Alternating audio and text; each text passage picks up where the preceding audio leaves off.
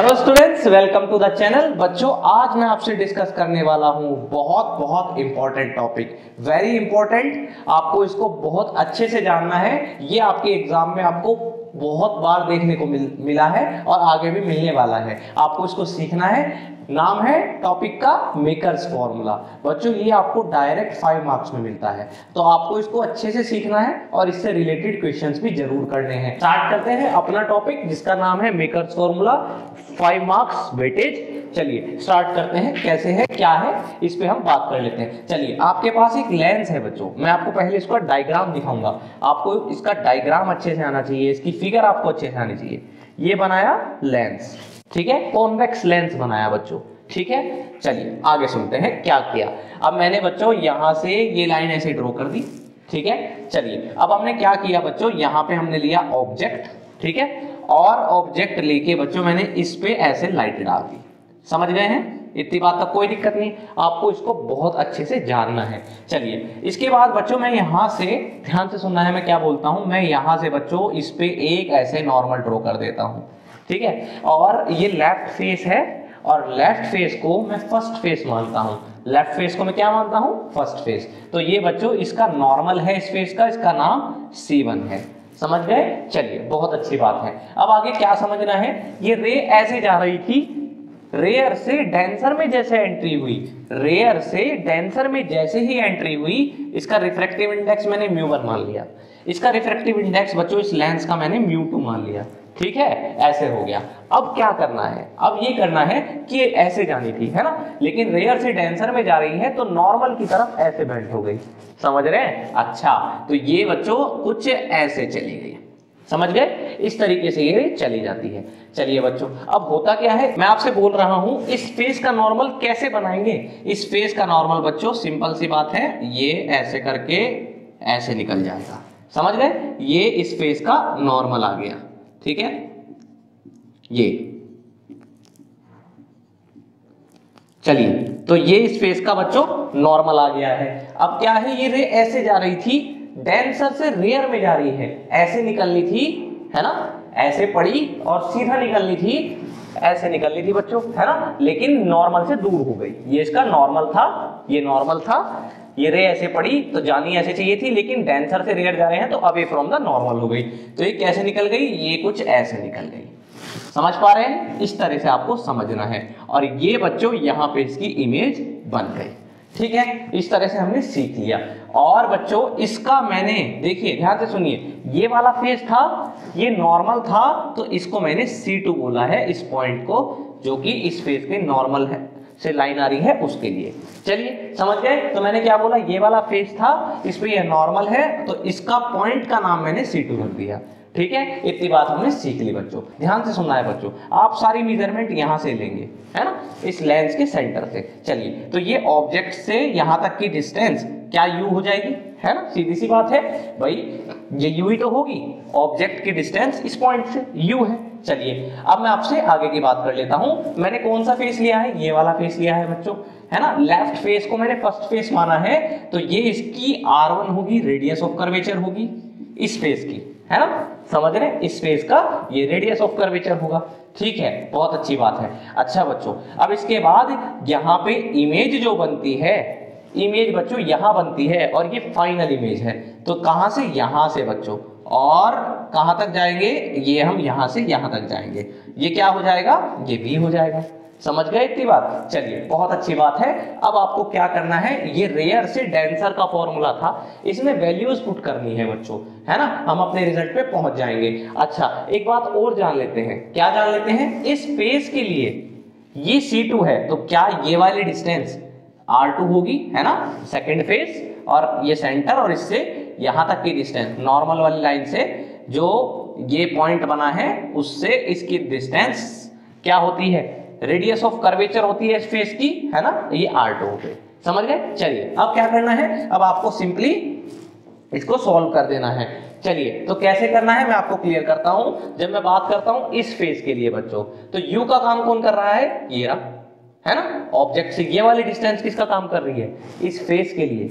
You का, चलिए और v का काम कौन कर रहा है? V का काम। ध्यान से सुनना है। इस फेस के लिए बच्चों, मैं कौन से फेस की बात कर रहा हूँ? मैं फेस की बात कर रहा हूँ इस फेस के लिए, है ना? इस फेस के लिए ये अगर जो लाइट ऐसे बेंट ना होती तो कैसे निकलती बच्चों? ये ऐसे सीधी सीधी ऐसे निकल जाती। समझ रहे हैं मेरी बात को? है ना? चलिए, ये आई डैश है। तो अगर रेयर से डेंसर में जा रहे होते रे पड़ी और पढ़ने के बाद मैं ये मान लेता हूँ कि अभी ये उसी मीडियम में है तो सीधी सीधी ऐसे निकल जाती।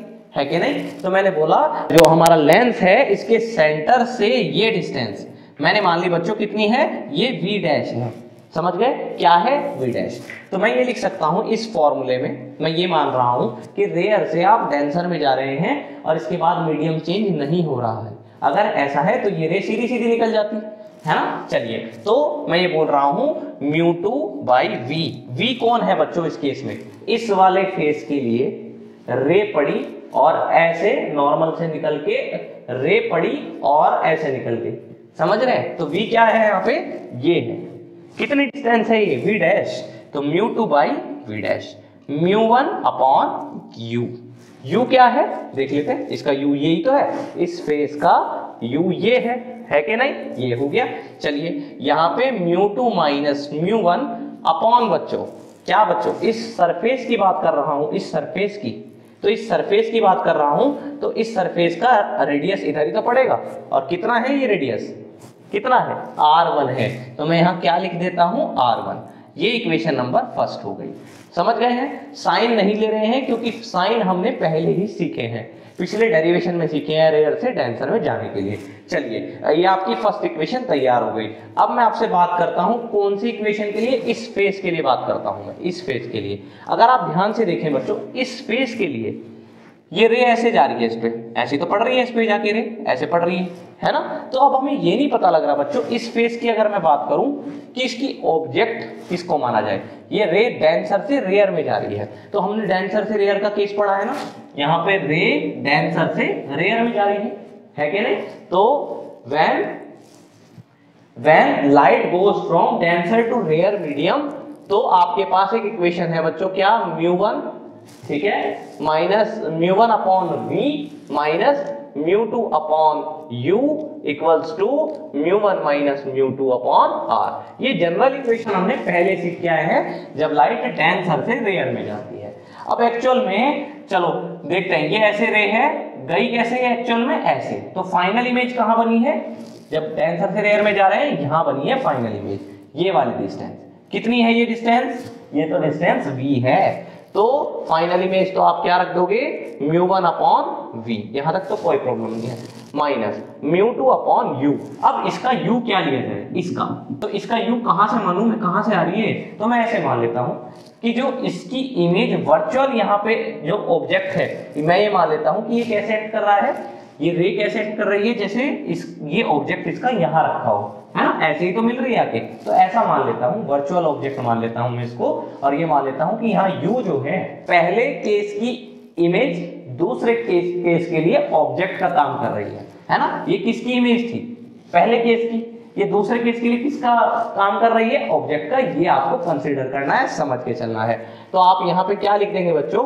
ये डिस्टेंस कितनी है? ये डिस्टेंस यहाँ से यहाँ तक की वी डैश है। तो यहाँ पे मैं पुट कर दूँगा वी डैश है ना? मैंने बोला कि पहले केस में जो इमेज बनती थी, वो दूसरे केस के लिए ऑब्जेक्ट का काम करती है है ना? क्योंकि ये रे आ रही थी, इसका पता नहीं लग रहा था ये कहाँ से आ रही है। तो ये कहीं यहाँ मिल रही होगी तो मैंने बोला ये ऑब्जेक्ट का काम कर रही है, ये वाली डिस्टेंस इस फ़ेज़ के लिए, इस फ़ेज़ के लिए सेकंड फ़ेज़ के लिए। ये आ गया। यहाँ पे बच्चों क्या हो गया? Mu one minus mu two phase कौन सा लिया है? ये वाला। तो इसकी रेडियस किधर होगी? इधर होगी। है ना? ये वाला फेस लिया है। वो क्या है? आर टू है। है ना? चलिए, बहुत सिंपल है। सीखते जाना है। ये इक्वेशन हो गई सेकेंड ठीक है? ऐसे हो गया। अब क्या करना है? अब आपको सिंपली दोनों इक्वेशन को ऐड करना है। मैं आपको एक बात क्लियर कर देता हूँ। बहुत ध्यान से सुननी है मेरी बात जो मैं आपसे बताने जा रहा हूँ। आपको बच्चों, इसको करने से पहले ही, जब भी आप ऐसा डेरिवेशन करें, आप पहले से ही जान के चलें। क्या? कि आपका रिज़ल्ट जो बनेगा बेटा म्यू माइनस में वन ठीक है? एक और one upon R one minus one upon R two और इक्वल्स टू किसके बनने वाला है? वन अपॉन एफ़ के ये रिज़ल्ट मुझे बनाना है, और यही मेकर्स फॉर्मूला है बच्चों। तो मुझे कुछ ऐसा ही करना है। मैं आपको इसलिए बोल रहा हूँ, आपको ये पहले से ही याद रखना है। क्या ये रिलेशन होती है? मेकर्स फॉर्मूला क्या है? रिलेशन है। किसकी? फोकल लेंथ की। किसके साथ? रिफ्रैक्टिव इंडेक्स के साथ। समझ गए? It is the relation between focal length and refractive index and radius of curvature इनमें एक रिलेशन है। इसको मेकर्स फॉर्मूला बोलते हैं। इसका ही मैं डेरिवेशन कर रहा हूँ। चलिए तो अब हम क्या कर रहे हैं? एडिंग कर रहे हैं फ़र्स्ट एंड सेकंड की। एलएचएस में एलएचएस और आरएचएस में आरएचएस तो आप फ़र्स्ट इक्वेशन का एलएचएस लिखें तो mu two upon V dash minus mu upon U है ना? और सेकेंड इक्वेशन का एल एच एस ये रहा, है ना? तो पुट कर देते हैं। क्या हो जाएगा? प्लस में mu one upon V minus mu two upon V dash समझ गए? मैंने आपको इसको सिंपली ऐड किया है। ठीक है? आर एच एस पे आते हैं और आर एच एस में लिखा हुआ है mu two minus mu one upon R one first equation में प्लस प्लस क्या बच्चों? Mu one minus mu two upon R two मैंने आपको बोला कि रिलेशन आपको ये बनानी है। कैसे बनेगी? आप देख लेंगे। चलिए, इसको जब मैं सोल्व करूँगा, इतने पार्ट को बच्चों, इस वाले पार्ट को, इस वाले पार्ट को। ठीक है? कैसे करना है? देखिए, जो कैंसिल होता है, उसको कैंसिल कर देंगे। देखिए, आपको दिख रहा है mu two upon V dash mu two upon V dash ये प्लस का है, ये माइनस का है कैंसिल हो गया। तो क्या बना? देखते हैं। चलिए तो क्या बचता है? माइनस का म्यू वन अपॉन यू है ना? ये रहा। है ना? Plus mu one upon V equals to बच्चों, देखिए, मैं क्या करता हूँ? यहाँ पे mu two minus mu one है। यहाँ mu one minus mu two है। तो क्यों ना आप क्या करें? इसको भी mu two minus mu one बनाए। कैसे बन सकता है? चेक कर लेते हैं। Mu two minus mu one upon R one समझ गए? ऐसे। ठीक है? चलिए, अब यहाँ पे बेटा मैं ये बोल रहा हूँ, अगर आप इसमें से माइनस कॉमन ले लें तो अंदर mu two minus mu one हो जाएगा क्या? क्योंकि म्यू वन पॉजिटिव है। देखिए माइनस माइनस क्या हो जाएगा? प्लस और ये निगेटिव हो जाएगा म्यू टू और यही तो है। तो ऐसे माइनस कॉमन ले लिया, है ना? सेम बनाने के लिए। तो ये ऐसे हो गया। ठीक है? चलिए, अब आगे कैसे करना है? इसको बेटा, ये जो लिखा हुआ है, इसमें से दोनों में से म्यू वन कॉमन आ जाएगा। है ना? यहाँ क्या बचेगा? माइनस का वन अपॉन यू यहाँ पे बेटा वन अपॉन वी ठीक है? चलिए, यहाँ पे आ जाइए। इसमें से क्या कॉमन आ रहा है? दोनों में से mu two minus mu one. है कि नहीं? ठीक है? इतना हो गया। अब क्या बचता है? यहाँ पे रह जाता है one upon R one minus one upon R two. ठीक है? ऐसे आ गया। अब क्या करना है? बस अब आपको इसको नीचे पहुँचा देना है। ठीक है? अब हम अपने रिज़ल्ट के बहुत पास आ गए हैं और ये रिज़ल्ट आपके लिए बहुत ज़रूरी है जानना और आपके एग्ज़ाम में आपकी बहुत मदद करने वाला है। क्वेश्चंस में भी और डेरिवेशन में भी। फाइव मार्क्स में ही रिज़ल्ट आपको पूछा जाएगा। चलिए, आगे देखते हैं इसमें क्या होने वाला है। तो अब आप क्या करेंगे? इसको म्यू वन को नीचे पहुँचा देंगे। ठीक है? चलिए, क्या बन जाएगा? वन अपॉन देखिए, ये रहा, है ना? माइनस वन अपॉन यू और बच्चों आपका ये म्यू वन उधर चला गया, ठीक है? तो क्या हो जाएगा? Mu two minus mu one upon mu one ठीक है? और साथ में मल्टीप्लाई में क्या है? One upon R one minus one upon R two getting my point चलिए, जब आप ये मल्टीप्लाई में है, चलिए। तो one upon V minus one upon U ये तो बहुत छोटी सी और सिंपल सी रिलेशन है। One upon V minus one upon U होता है वन अपॉन एफ़ तो बच्चों मैं यहाँ क्या लिख दूँगा? वन अपॉन एफ़ है ना? Mu two by mu one अलग अलग लिख लेते हैं। Mu two by mu one और यहाँ पे mu one upon mu one. तो ये वन हो जाएगा। तो बच्चों यहाँ पे आ जाएगा कुछ इस तरीके से, है ना? और बच्चों एक चीज़ और कर लेते हैं। Mu two by mu one को एक नाम दे देते हैं कि mu two by mu one equals to बेटा म्यू। तो आप क्या लिख देंगे? One upon F equals to mu minus में one one upon R one minus one upon R two. यही आपको रिलेशन प्रूफ करनी थी बच्चों। वेरी वेरी इंपॉर्टेंट है। ये रिलेशन बनाई है फोकल लेंथ की रिफ्रेक्टिव इंडेक्स के साथ एंड रेडियस ऑफ़ कर्वेचर के साथ, जो इन दोनों फेसिस की हैं। चलिए, आप जान गए हैं, इसको बहुत अच्छे से तैयार करना है। आई होप आपने इसको बहुत एंजॉय किया होगा। और अगले लेक्चर में बात करेंगे और नए नए कॉन्सेप्ट के साथ नई नई वीडियोस के साथ।